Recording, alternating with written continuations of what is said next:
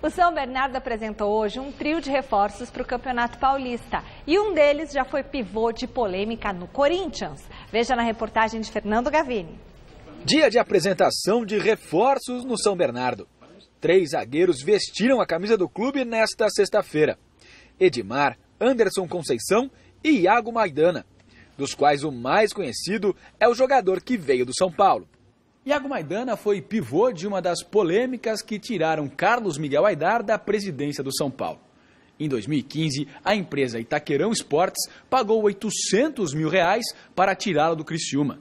Em seguida, o registrou por dois dias no Monte Cristo, clube da terceira divisão de Goiás, para em seguida vender 60% dos direitos federativos do jogador para o São Paulo por 2 milhões de reais. Eu fui um cara que nunca me envolvi com polêmica, nada. Acabou saindo coisas de mim que eu não esperava, que da, da minha pessoa também eu não sou um cara né, assim. E atrapalhou sim um pouco, né, mas não quero mais pensar nisso, quero pensar em página virada, em recomeço, né. Como estourou o limite de idade para jogar nos juniores, Iago foi emprestado para disputar o Paulistão no São Bernardo. Estou muito feliz, estou bem confiante que vai ser um, um bom campeonato, vai servir para mim, né, acima de tudo. E tudo que eu estou aprendendo aqui está valendo muito a pena. Conceição, você estava voltando para o futebol brasileiro depois de uma experiência legal, né? Foi jogar nos Estados Unidos.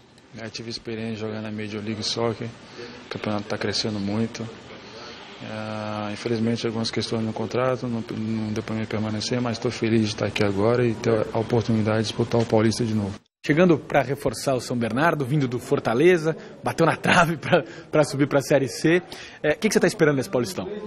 É verdade, mais um ano bateu na trave, mas eu fico, fiquei feliz pelo meu ano no Fortaleza. Foi um ano que eu joguei a maioria dos jogos, se eu não me engano, fiquei três jogos fora. E agora vem para o São Bernardo, um, uma equipe que sempre faz campanhas boas no Paulistão. E eu espero que comigo não seja diferente. E 2017 promete. O São Bernardo sonha com voos mais altos. Além do Paulistão, o clube vai disputar pela primeira vez a Série D do Campeonato Brasileiro.